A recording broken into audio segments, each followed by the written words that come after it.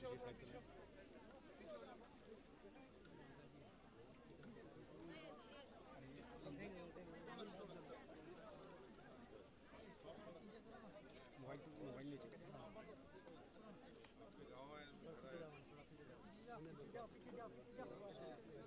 Thank you.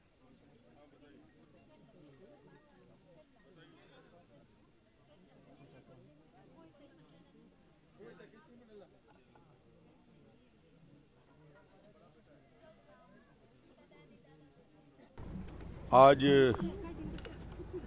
हम सब यहाँ उपस्थित हैं। माननीय राष्ट्रीय महामंत्री जी अनिल जैन जी, सौदान सिंह जी, विक्रम उसेंडी जी, प्रदेश अध्यक्ष जी, धर्म कौशिक जी, ब्रजमोहन जी और रामेश्वर नेताम और सभी वरिष्ठ लोग यहाँ मौजूद हैं। आज आए हैं हम अपने एक लाडले कार्यकर्ता जो छोटे भाई की तरह लगातार इस क्षेत्र में काम करता रहा। और हम सबसे दिल से जुड़ा रहा, बहुत ही निर्भीक, बहुत ही संघर्षशील कार्यकर्ता, जो अपने एक छोटे से जॉब से, संसदीय सचिव से बढ़ के और विधानसभा में जीत के आया, फिर दूसरी बार जीत के आया और इस कठिन क्षेत्र में लगातार उसका संपर्क बना रहना। साहस और दुस्साहस का तो प्रतिमूर्ति था और निश्चित रूप से इतनी बड़ी घटना और हादसा में उसका हम सब के बीच चले जाना, हम सब का नुकसान है, पार्टी का नुकसान है, व्यक्तिगत हम सब का नुकसान है। चार बच्चे हैं, पूरा परिवार है, बहुत बड़ी जवाबदारी। और नक्सलियों ने जो ये घृणित कृत किया है, उन्हें कभी इसके लिए माफ़ नहीं किया जा सकता। और जिस प्रकार की घटनाएँ बढ़ रही है, ये चिंता का विषय है कि लगातार पाँच बड़ी घटनाएँ होगी।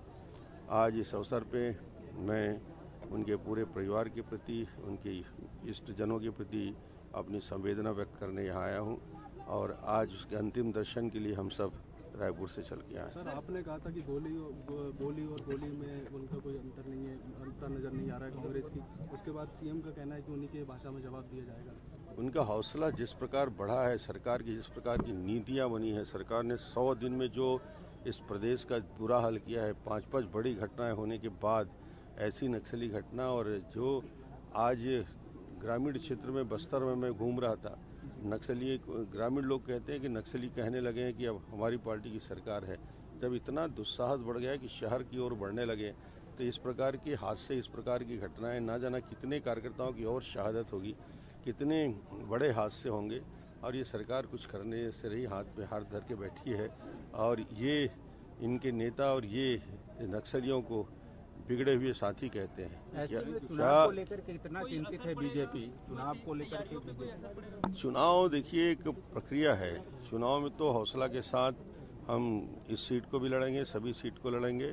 चुनाव प्रजातंत्र का एक बड़ा का आयोजन है उसमें हम हिस्सा लेंगे। और कोशिश रहेगी कि ज़्यादा से ज़्यादा लोगों तक हम पहुँचें। चुनाव से हटना की बात नहीं है चुनाव तो एक सामान्य प्रक्रिया में होगा।